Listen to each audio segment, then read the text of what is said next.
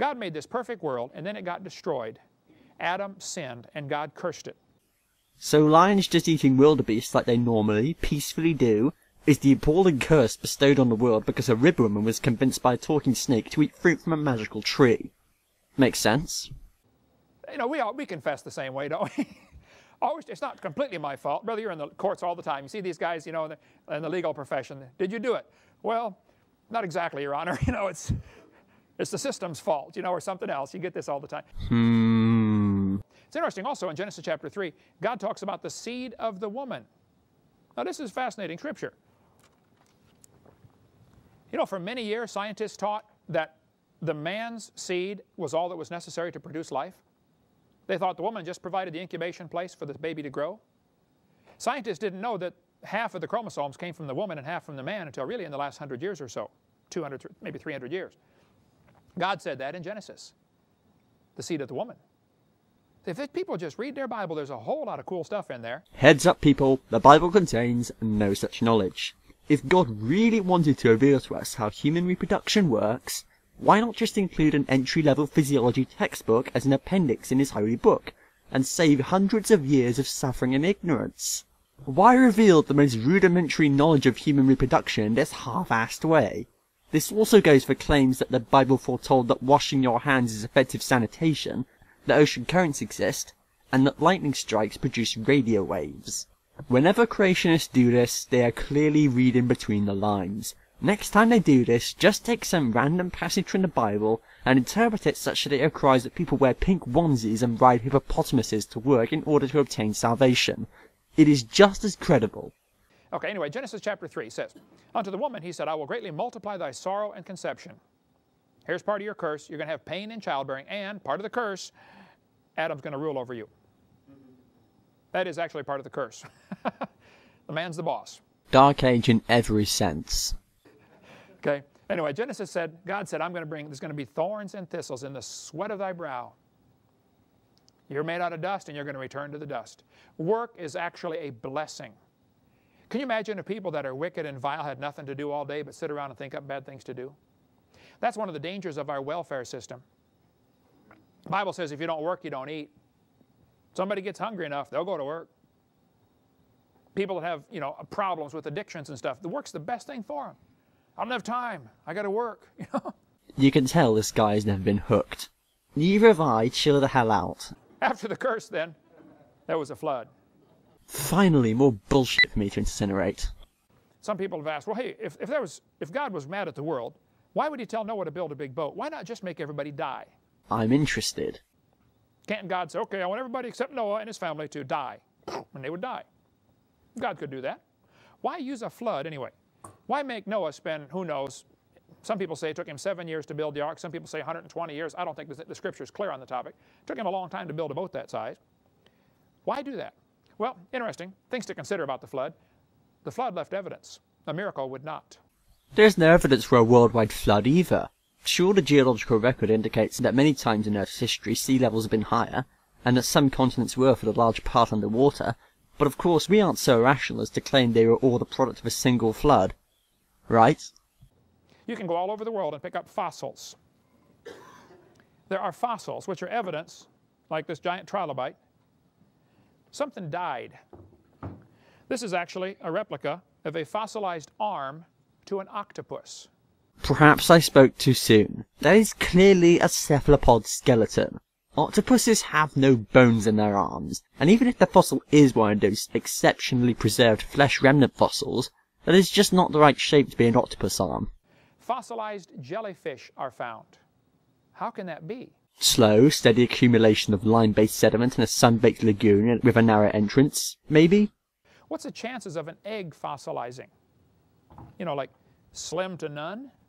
The same chance of any fossilization occurring, I presume, and that's partly right. The chances of fossilization occurring are not slim to none, but highly specific geological, sedimentological, and geochemical conditions need to hold in order for fossilization to occur in the sense that Hovind is describing. However, some kinds of rock that are produced quite frequently are arguably fossils as well, like fossiliferous limestone and chalk. And Satan knows this ought to draw people to say, wow, there was a flood, there was a disaster, this thing was buried quickly. Why would Satan want us not to think there was a flood? Oh, wait, I know. Because all evolutionists are really evil, murdering, thieving, raping, molesting, socialist Nazi psychopaths who don't want to admit that God can wipe them out. And Satan has used very hard to deceive, he worked very hard to deceive people into thinking that the fossils that testify of God's judgment instead testify of millions of years. So Satan can make people think that sediments which obviously take quite a while to settle out and turn to rock, take quite a while to settle out and turn to rock. Hovind, you don't seem to be understanding the bloody obvious point here. It's not that I want to continue with my sinful behaviour without worrying about God coming to judge me, and that Satan has brainwashed me into thinking that the geological record testifies the passing of millions of years of geological time. It's that I'm an unhedonistic, nice guy who is trying to investigate the history of the Earth free from religious and personal bias, and that you are a moron who hasn't the faintest clue about geology, trying to win me over into your ignorant, delusional fan club. Kids go to school for 16 years and they're taught over and over, oh, this is proof for evolution, millions of years. No, this is proof there was a judgment of God.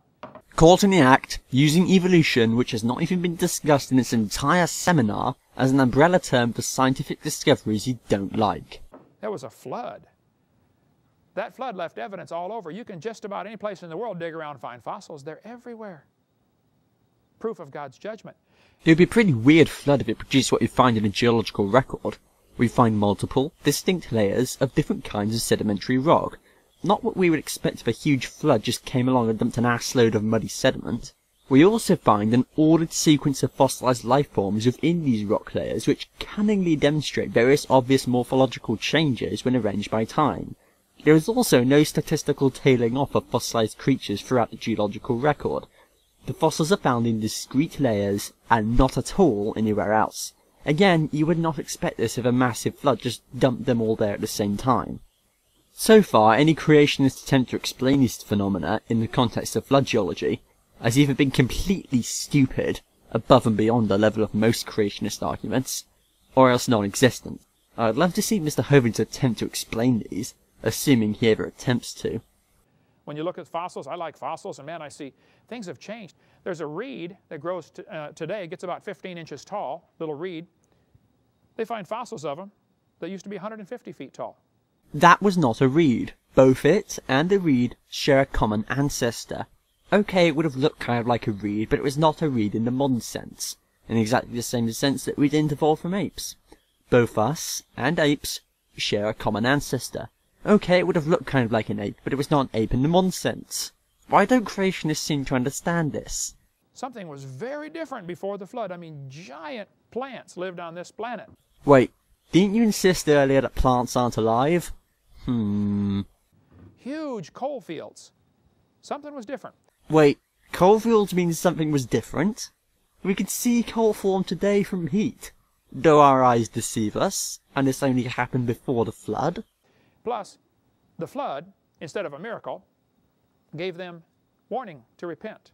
They could watch Noah building that boat every day. They couldn't watch a miracle coming. He could preach, hey, 10 more days, you're all going to drop over. Yeah, right, yeah, right. But they could see that boat going together day after day. It was a constant reminder that they could have gotten saved. And they could have and should have. Well, what if they all decided to be saved at the last minute? Some serious modification had to be made to that Ark of Noah to carry umpteen thousand people in addition to a pair of every animal. I debated this professor, and one of the kids in the audience, we had Q&A time afterwards, he said, Hovind, uh, could it rain enough to cover the earth? He said, you think it really rained enough to cover Mount Everest?